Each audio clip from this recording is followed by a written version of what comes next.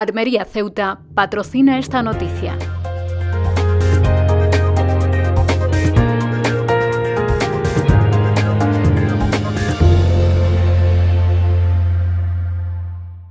El presidente del Grupo Parlamentario de Ciudadanos Andalucía, Juan Marín, ha acudido a la entrega de los premios Alas celebrado recientemente en nuestro municipio. Marín, que no conocía Alcalá la Real, ha aprovechado la visita para compartir un café ciudadano con militantes y simpatizantes en la formación Naranja en la provincia, acompañado de la coordinadora territorial de Ciudadanos en Andalucía, Raquel Morales, y el coordinador local, Ángel Montoro.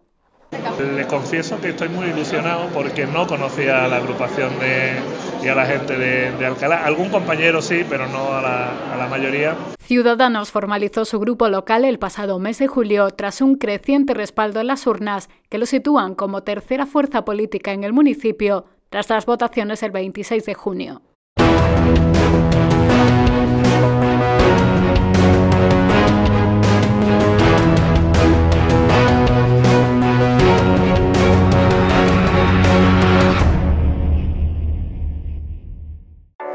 Si te ha gustado, dale a me gusta y comparte.